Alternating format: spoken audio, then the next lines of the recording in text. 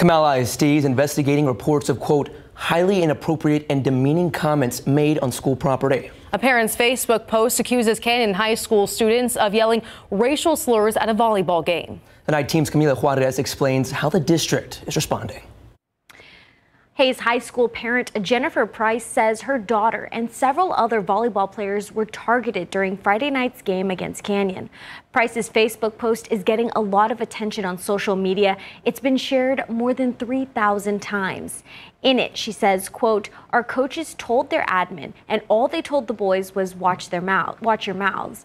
She goes on to say that no one was removed from the game and that the students were allowed to continue heckling the Hays volleyball team after the game.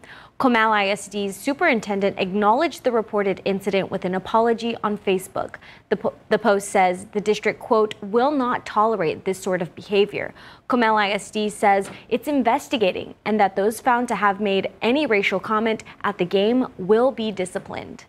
We asked Price for an interview, interview, but she declined. Her post also says that what happened Friday night was, quote, ironic. The Hays volleyball team was wearing the number three on their hands to support Duke player Rachel Richardson, who faced racial slurs during a recent match. Camelia Juarez, KSAT 12 News.